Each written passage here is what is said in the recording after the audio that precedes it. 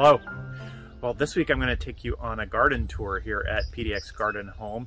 It is beginning of May, um, and kind of let you see, uh, uh, let you see the whole garden. I, I, it's, I don't do this very often, so hopefully, I my cinematography will be enough that you can kind of see uh, enough of different things to get a sense of the layout. Most of the time when I'm doing garden videos, you often see me in the north, what I call the north garden um, kind of have this area broken out by direction. The north garden is where we get most of the sun. It's where the vegetables are, the greenhouse, the potting bench. It's where a lot of the action is.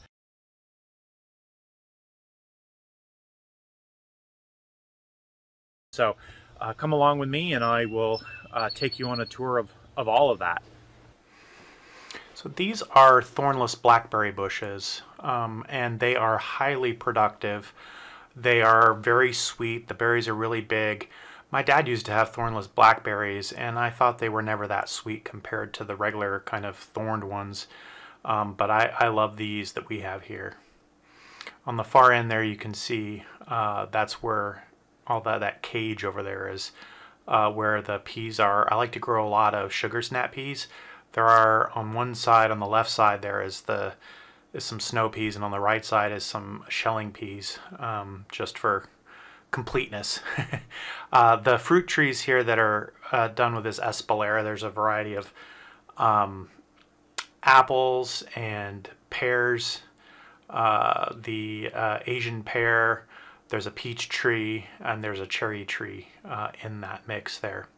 This bed that I'm passing here is, or the series of beds is actually um, a new design. In prior videos, you'll see that I had grass paths in between fewer beds. Okay, as we come along here, along this is what I call lilac row. There's actually three lilac trees there. Um, we're going to be passing that um, behind us, so you won't you won't see that as easily there. And uh, then this is the what was the main the main veggie garden, um, and with uh, raised beds that was there actually when I brought the property in, but I changed out the, I refurbished the wood, used new wood, and um, beefed up the beds with more compost and that kind of thing. Put in the uh, cedar chip paths. Those bags there in in front of the greenhouse, those are actually grow bags for potatoes. That's something new. This uh, horseshoe bed back here, that's that flower bed was um, planted out by the former owners years ago, probably over a decade ago. Um, and it's just, it's got a lot of great perennials in it and it's beautiful. It's the nursery area that I have in the back here. Um, and then along here, along the property line here is the raspberry row. There's about good 20 feet of raspberries there. This is another nursery area uh, where I've got seedlings uh, growing on, getting ready to be planted out uh, in the garden. And then that, of course, you're looking into there is my new potting bench area that I've made several videos about this year. Um, I and I've really been enjoying it. It's worked out exactly the way I wanted it to. Um, and then here's the greenhouse, and I've got a lot of stuff. All the warm warm weather stuff is uh, growing up here. Uh, so the peppers will stay in here, melons will stay in there, but the um, there were a lot of uh, petunias you saw in there, and then of course the tomatoes. Those will all come out and go into the field. Um, and uh, yeah, this uh, row of tulips here, this was my first tulip bed. That's where I traditionally have grown tulips. Uh, we're going to leave the north garden now, and I'm taking you through through my potting shed here and onto the deck, which is not particularly exciting this time of year because it's still rainy. I don't have the garden furniture uncovered. Um, so we're gonna pass we're gonna pass by the deck here. I'll just show you a couple. I've got some bu some uh, bushes here, azaleas of beautiful colors that'll be coming out. And then there's the west side garden, which is a shaded area as well. It extends from the front driveway across the west side of the property. And on the west side garden here, um, this is the it's the side garden to the garage. It's very shady in here, but we're growing um, some snapdragons, which I hope will. They flowered last year, so I hope to see they'll continue to flower. Um, see other kind of west of the driveway. There's just kind of a, uh, a little bit of garden space there. Just have a few plants there, nothing particularly spectacular. This, what we're looking at here, is what we call the south lawn garden. Um, that south lawn there has been a challenge to keep grass in it. It's mostly a moss field.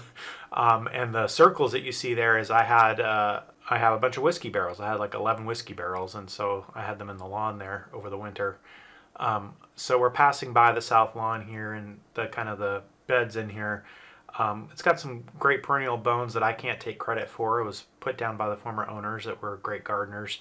Um, I still have yet to really plant it out with with what I want to plant out there yet. I did put this path in here along the outer hedge, and then as we enter the woodland garden, this is the south, uh, the southeast woodland garden, and I put this path in here so I could create beds along the path. I haven't really created beds per se, like I didn't put compost down or anything. Um, I just let it be natural and then uh, planted a few things, planted some ferns, planted a, a, row of columbines, which we passed just a minute ago on the right. Um, yeah, and uh, kept the limbs in here kept trimmed away so that there is some understory space here to play with, uh, but haven't really been successful in doing much with it. It's very dry. It's very it's shady and dry, and and, and for Oregon, it's very dry, I should say.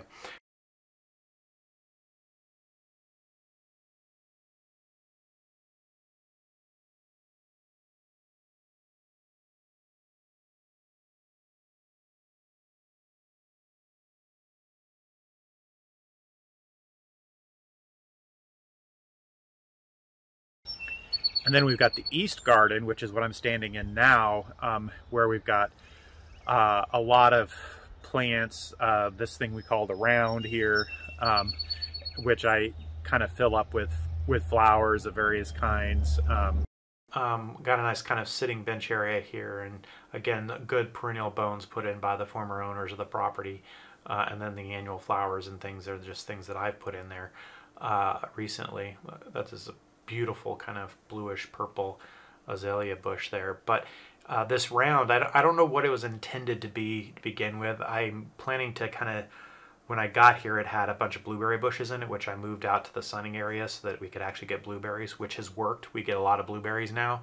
Um, so I don't know what was in that round to begin with. Uh, we built the fire pit here. Um, see my whiskey barrels there. Uh, no, there's no whiskey in those barrels. They're just decoration.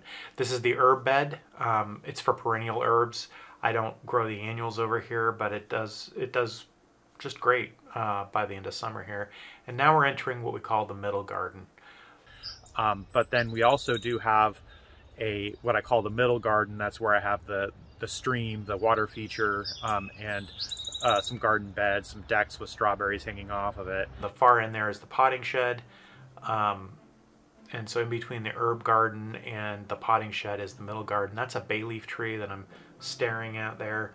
Um, and then just your kind of standard Mediterranean herbs underneath the tree there. There's some thyme and some uh, rosemary and things of that nature. As we go through the Mediterranean garden here, uh, I put in the pots and I put in uh, some of the annual flowers, the tulips and that kind of thing. But again, the perennial bones were here. Um, I put in grapes along the deck there than strawberries in the baskets that are along the deck there. Then I created this stream feature from a dry bed stream that was kind of, they had a stream motif, but they didn't have a real stream. So I put in the water feature, made it a real stream.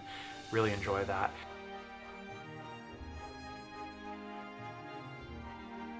This is what we call the rose gate. This is a, a client, or I don't know what, I don't know what you would call it, but it makes the, it just makes just proliferation of lots of white pinkish roses um, when it gets into bloom. And as we go through the rose gate from Middle Garden, we get back to where we started. We're back into the, the North Garden here and into the uh, fruit orchard, the uh, central and main um, veggie gardens, it's the tulip row, and uh, the greenhouse. Well, I hope you enjoyed that. I certainly did. Thank you all.